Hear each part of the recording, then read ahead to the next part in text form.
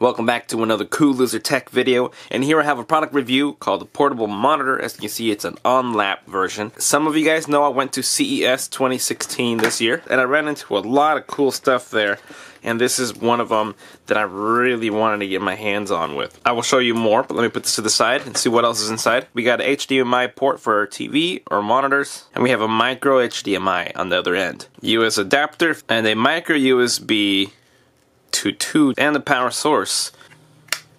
And there we go.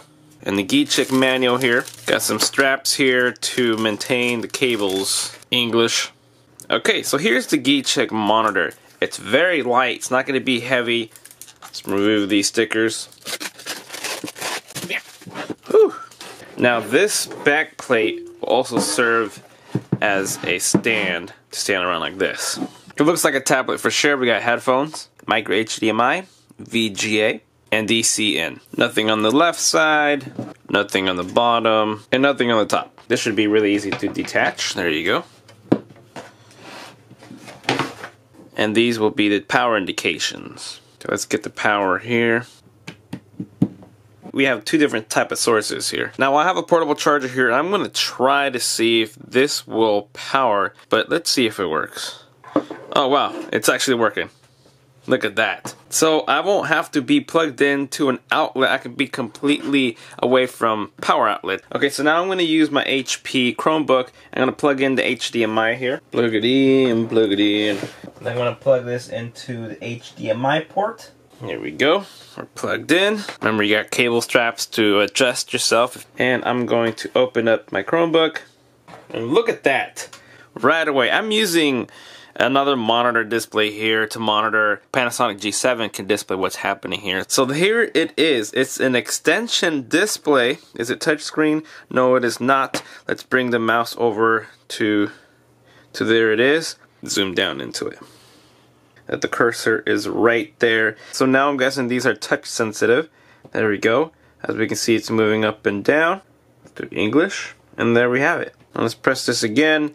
We get display settings, move over color settings, aspect ratio, manual image adjustment. There's the volume, OSD menu, position, this input source, VGA HDMI. Now I'm going to grab this and bring it over to this side. Yeah. And I have to say the viewing angle where it's at right now I'm like walking around it to see how it is and it has really good like it doesn't fade out. It's like almost like an e-ink type of display here. It's playing there. Full screen.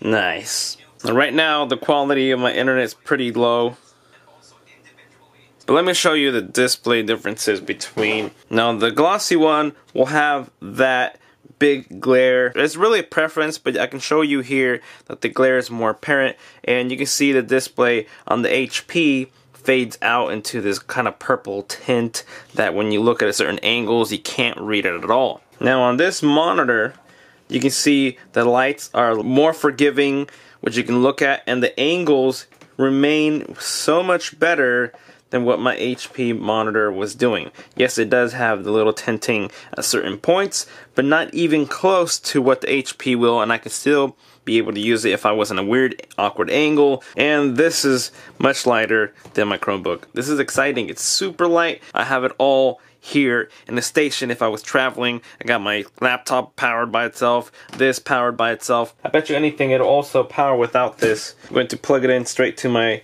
Chromebook and there we go. There's power enough there. It's going to turn on. Of course, we're plugged in. And there we go. Eventually, you'll be able to rig yourself up on a good platform for you can have an extended monitor like this. Of course, this is a 1080p display. You're not getting no 720p, no anything lower. Speakers right back here. You can take off this little other sticker that's in the back of it as well.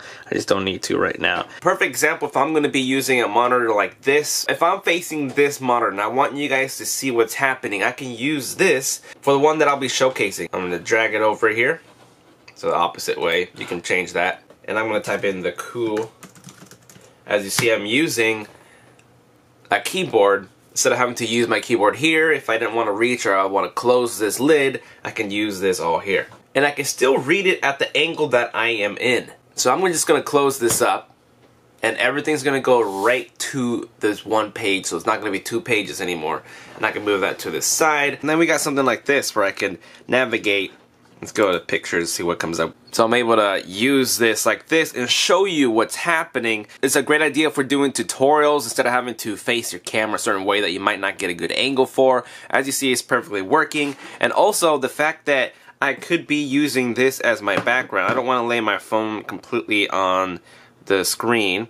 So for example, I'm just to set this down there. If I press hard on it, it doesn't freak the screen out, so you do have that flex in order for you to hit and it's not to disorientate itself. This type of video here, I'm to bring the camera and I can have as a background. The angle works for me. I think it's cool having it flush to the table. This monitor has been great. I haven't felt it heat up. It never flickered on me. I've been using it for a whole day. I even edited video from my actual PC and even watch a lot of videos on here. And the speaker on the back is not very great because there's a tiny one in the back and I put headphones in and it sounds just as good. But yeah, it definitely was my internet yesterday that it was crapping out. And this is the speaker I use for the background of my videos when I record. So that's now my audio source. And 1080p, it's not even 4K, so it gets even better than that.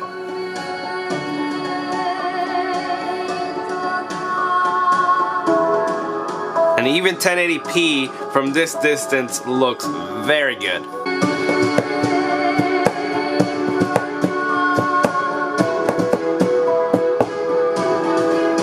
So anyway, you can plug in your Xbox, your PS4, your Nvidia Shield, your Nexus player, whatever has a display port to connect into, you can transfer it into this. So this is your monitor, your TV, your computer, your whatever you want to do. It's just in a convenient way to make yourself portable with this monitor. I think it's great. You guys are going to love it. They also have different styles and different things that you can do with the monitors and this is just one that I got my hands on with. So if you would like one for yourself, you can find it in the description down below.